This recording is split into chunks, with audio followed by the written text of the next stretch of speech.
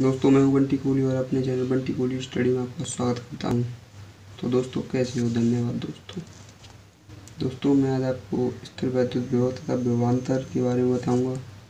दोस्तों, विद्युत क्षेत्र में एकांक धन आवेश को एक बिंदु से दूसरे बिंदु तक ले जाने में किया गया कार्य उन दोनों बिंदुओं के बीच विभवांतर प्रदर्शित करता है। यानी कि दोस्तों, कहने का मतलब ये है, ये देखिए दोस्तों ये कोई धनावेश है दोस्तों? और यहाँ पर बी बिंदु पर कोई क्यू नोट परीक्षण आवेश है, ये भी धनावेश है। दोस्तों, जब इस परीक्षण आवेश को बी से ए बिंदु पर ले जाएँगे तो दोस्तों क्योंकि ये भी धनावेश है और ये भी धनावेश है। तो इनके बीच एक प्रतिकर्षण बल कार्य करेगा दोस्तों, जिसकी दिशा इधर होगी। तो दोस्तों, ये क्यू नोट को ए बिंदु पर ले जाने में जो कार्य करना पड़ रहा है, ठीक है ना? कार्य करना पड़ेगा दोस्तों तो बिंदुओं के मध्य विभांतर दोस्तों ए और बी के मध्य जो विभांतर होगा दोस्तों, देखिए B A minus B B दोस्तों, यहाँ पर बी ए बड़ा है क्योंकि ये दोनों धनात्मक हैं और इस फोर्स इधर लग रहा है दोस्तों प्रतिकर्षण में। तो क्यू नोट कार्य करना विपरीत दिशा में कार्य करना पड़ रहा है, बल्कि तो इसलिए दोस्तों यहाँ पर ए बड़ा होगा और बी छोटा होगा। इसलिए दोस्तों B A minus B B बराबर डब्ल्यू अपन क्यू नोट ये होता है दोस्तों विभवान्तर का फॉर्मूला तो ठीक है दोस्तों, और इसका मात्र आप जानते हैं दोस्तों डब्ल्यू यानी कि कार्य का मात्रक जूल होता है, और अब इसका मात्रक दोस्तों कूलम होता है। तो इसलिए इसका मात्रक जूल पर कूलम हो गया दोस्तों, ठीक है। इसके बाद दोस्तों, विद्युत विभव विभव की बात करते हैं दोस्तों। विभव क्या होता है?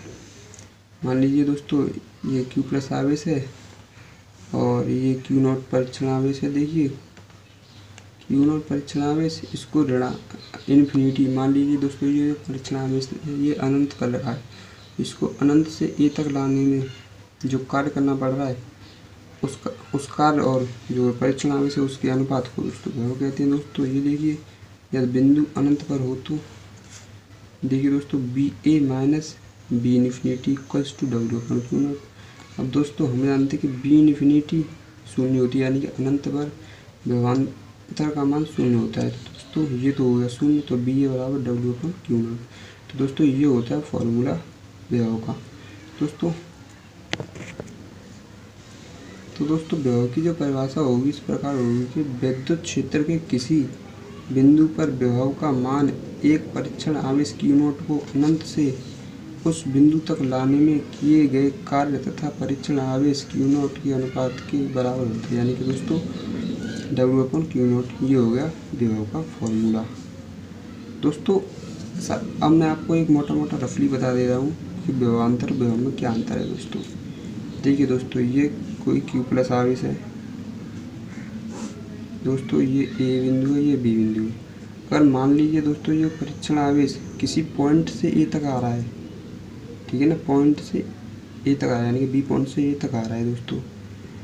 तो इसमें जो कार्य जो विभव होगा, वो दोस्तों विभवान्तर होगा।